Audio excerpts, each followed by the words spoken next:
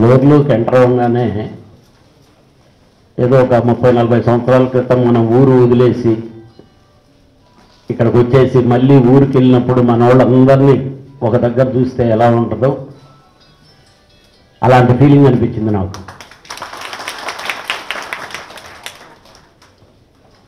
ఒక చిన్న కొరత. ఈరోజు దాసనారాయణరావు గారు కానీ బ్రతికుండి ఉంటే ఈ ఫంక్షను ఈ మీటింగు ఇంకా వేరే వేరే విధంగా ఉండి ఉండేది.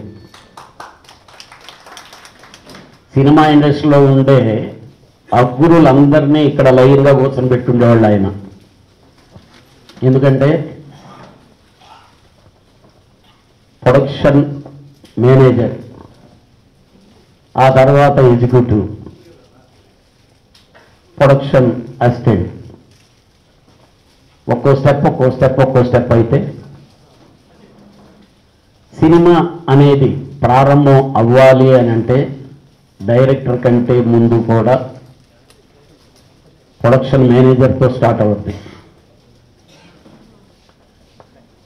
నరేష్ గారు రండి. వెల్కమ్.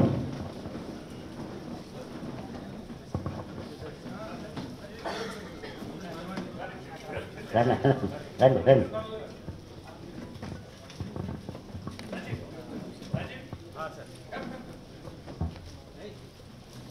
రండి రండి మా ఒక్కటే తల్లి ఒక్కటే. ఒక సినిమా శ్రీకారం చుట్టేదానికి ఏ అసోసియేషన్ మెంబర్ అయితే పునాది అవుతారో ఆ అసోసియేషన్ ఇరవై ఐదు సంవత్సరాల వార్షికోత్సవం జరుపుకుంటుంటే ఈ సినిమా ఇండస్ట్రీలో ఉండేటటువంటి ప్రొడ్యూసర్స్ కానీ డైరెక్టర్లు కానీ ప్రతి సెక్టార్ ఇది మన ఫంక్షన్ అని చెప్పి జరుపుకోనే దానికి ప్రతి ఒక్కరూ చేయూత ఇవ్వాలి ఇస్తారు ఇవ్వాలని చెప్పి కోరుకుంటున్నా.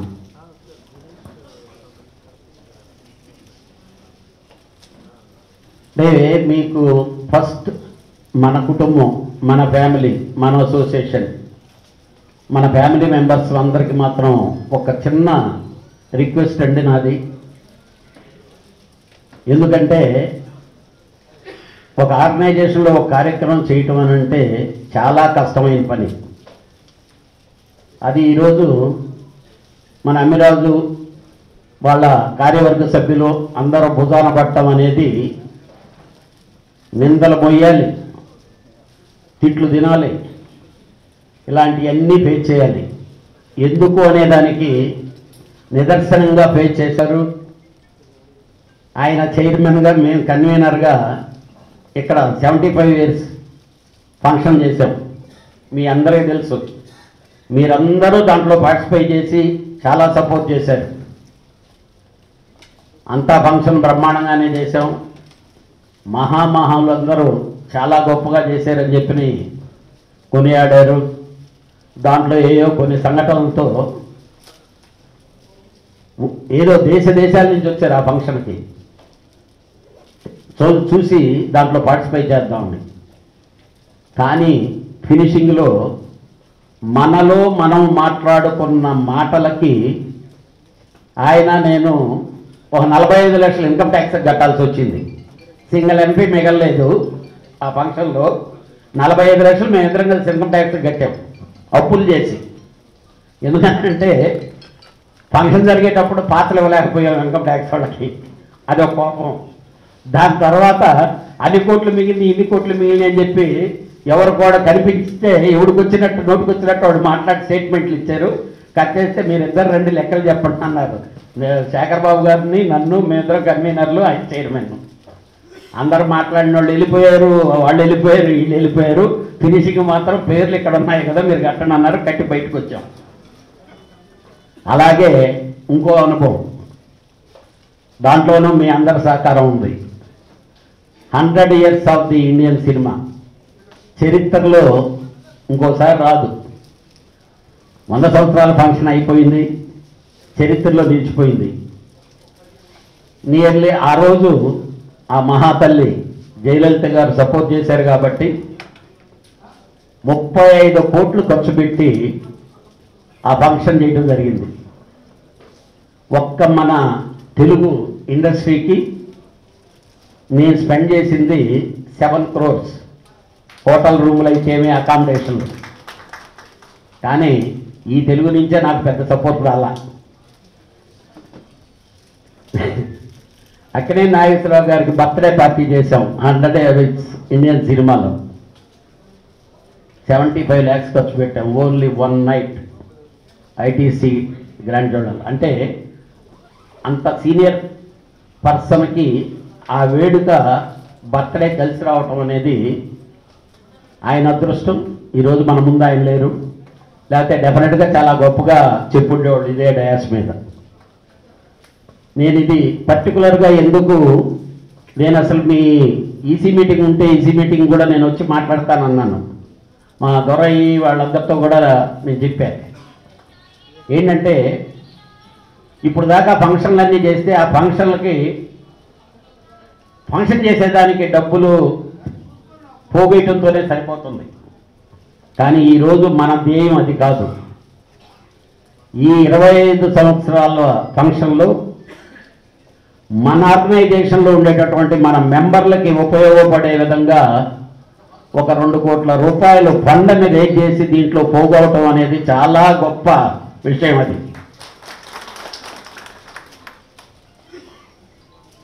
ఇలాంటి దాంట్లో డెఫినెట్గా మనం ఇన్వాల్వ్ అవ్వాలని వెరీ బిగినింగ్ డే నుంచి నేను లీడ్ తీసుకొని అమిరాజ్ గారికి నేను బాబీ వాళ్ళు వచ్చి అడిగితే డెఫినెట్గా నేను ఉంటాను.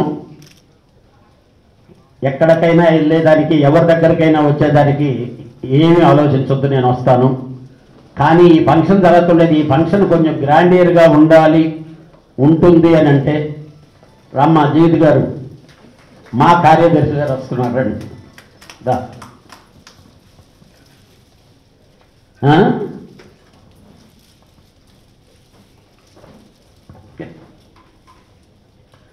ఇలా జరుగుతుండే టైంలో ఆ డబ్బు పోగేయటం చాలా కష్టం.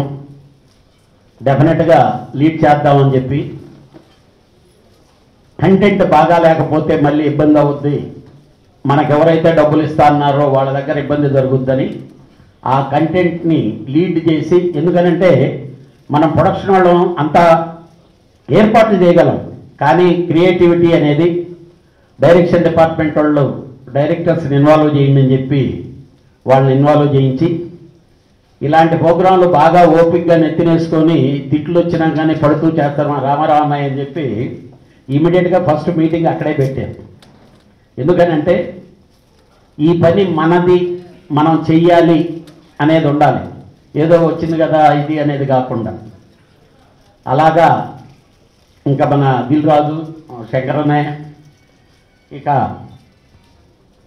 మా ఎందుకనంటే మనం ఎంత క్రియేటివిటీ చేసినా గ్లామర్ లేకపోతే ఆ ఫంక్షన్కి అందం రాదు అవతలోడు రూపాయి ఇచ్చేవాడు ఇవ్వడం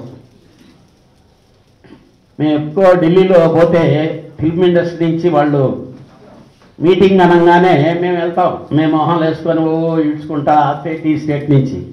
వాళ్ళు చూడటంతో ఇదే ఫిల్మ్ ఇండస్ట్రీ అంటారు. వాళ్ళకి కావాల్సింది ఏంటంటే షారూఖ్ ఖాను సల్మాన్ ఖాను చిరంజీవి గారు. వాళ్ళకి స్టార్లు కావాలి. కానీ మన స్టార్లు రారు. కాకపోతే ఈ ఫంక్షన్కి డెఫినెట్గా ప్రతి స్టార్ గ్యారంటీగా అటెండ్ అవుతారని నాకు నమ్మకం ఉంది. ఎందుకనంటే ఈ ఆర్గనైజేషన్తో ప్రతిరోజు వాళ్ళకు అవసరమే. ఈ ఆర్గనైజేషన్ మెంబర్స్తో ప్రతిరోజు వాళ్ళకి అవసరమే. కాబట్టి మనందరం కూడా ఎవరెవరికి ఎవరితో అటాచ్మెంట్ ఉందో వాళ్ళందరూ వాళ్ళని అప్రోచ్ అయితే అడ్మినిస్ట్రేషన్ సైడ్ మనం కూడా ప్రొడ్యూసర్ని మమ్మల్ని ఎప్పుడు పిలిచినా దిల్ రాజు నాకు అదే మాట చెప్పాడు. శంకరన్నయ్య అన్నాడు రామారావు అన్నాడు అలాగే నరేష్ గారు జీవిత్ గారు. వీళ్ళందరూ కమిట్మెంట్తో ఒక పని మీద వచ్చే వాళ్ళు ఉన్నారు. డెఫినెట్గా మీరు ప్రతి సినిమాని స్టార్ట్ చేసి రిలీజ్ చేసే రోజు వరకు ఎలా భుజాలు వేసుకొని మీరు మోస్తున్నారు. అలాగే ఈ కార్యక్రమాన్ని మాత్రం ఎవరో ఇంత గొప్ప కార్యక్రమం చేయలేకపోయారన్నంత విధిగా జరిపించి ఈరోజు రెండు కోట్ల వరకు అనుకుంటున్నాం. దీని మీద ఇంకా ఎంత పెంచి వచ్చేదానికి మనం ప్రయత్నించాలో ప్రయత్నిద్దాం. అలాగే ఈ ఫండ్తో ఈ ఆర్గనైజేషన్ ఉండే ప్రతి సభ్యుడికి గృహవసతి కలిపేదానికి మాత్రం ఉపయోగపడేదానికి నా వంతుగా మంచి ప్లేస్లోనే హ్యాండిల్ చేస్తున్నాం. డెఫినెట్గా ఏంటి భలే సక్సెస్ఫుల్గా వీళ్ళు కొట్టేరే అనే విధంగా ఉంటుందని అనుకుంటున్నాం. అలాంటిది సక్సెస్ అవ్వాలని ఆ భగవంతుడిని కోరుకుంటున్నాం. ఒకవేళ అదే కాకపోయినా డెఫినెట్గా మంచి ప్లేస్లో మనందరమే నాకు ఒక కోరికండి మూవీ టవర్స్ అనేది స్టార్ట్ చేసింది నేనే. మిడిల్ క్లెయిమ్ అనే దానికి నాంది పలికిందేనే ఆ రోజు కేఎస్ రామారావు గారు నాకు పైన ఉన్నారు కాబట్టి సాధించగలిగాను అంటే మనందరిలో ఎలాంటి పరిస్థితులు ఉంటాయనేది నేను ఫేస్ చేసినోడిని నేను అనుభవించి వచ్చినోడిని.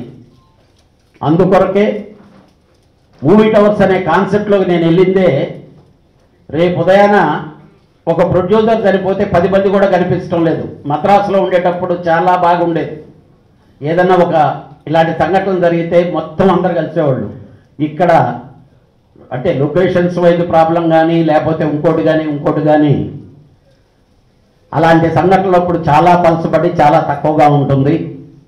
కనీసం ఒక రెండు వందల మూడు వందల మంది ప్రొడ్యూసర్లు అందరూ ఒక దగ్గర కలిసి ఉంటే ఏదన్నా ఆపద వచ్చినప్పుడు అందరూ ఆదుకుంటారనే ఫీలింగ్ ఉద్దేశంతో స్టార్ట్ అయింది. అలానే మీ ఆర్గనైజేషన్కి ఈరోజు చిత్రపురి కాలనీ ఉన్నా అనుకోని పరిస్థితులు ప్రభావాలు మనలో అందరికీ ఉండుండవు నాకు తెలిసి. ఉన్నాయి మన వాళ్ళు ఉంచుకొని ఉండుంటారు డెఫినెట్గా ఈ దఫా ఈ వచ్చే ఇళ్ళన్నా కూడా మళ్ళీ ఎవరికి వెళ్ళకుండా వాళ్ళ ఫ్యామిలీలకే వాళ్ళకే ఉండే విధంగా అన్ని చర్యలు కట్టుదిట్టంగా ముందుగానే చేసి డెఫినెట్గా ఈ కార్యక్రమాన్ని ముందుకు తీసుకెళ్దామని. అలాగే మీరందరూ అన్నదమ్ముల్లాగా ఉండి ఒక షూటింగ్లో ఇబ్బంది వస్తే మీరు ఎలాగా సముదాయించి సర్దుతూ ఉంటారో అలాగే ఈ ఫంక్షన్లో ఎలాంటి ఇబ్బంది వచ్చినా అందరూ తనది అని భుజాన వేసుకొని మాత్రం సక్సెస్ఫుల్ చేసి చాలా గ్రాండ్గా జరిగే విధంగా చేయాలని చెప్పి నేను కోరుకుంటూ రేపు పాతిక లక్షల రూపాయలు లీడ్ ఆ పాతిక లక్షల లాంటిది పూర్చేదానికి మాత్రం మొదట లీడ్ నేనే తీసుకొని నేను చేస్తాను.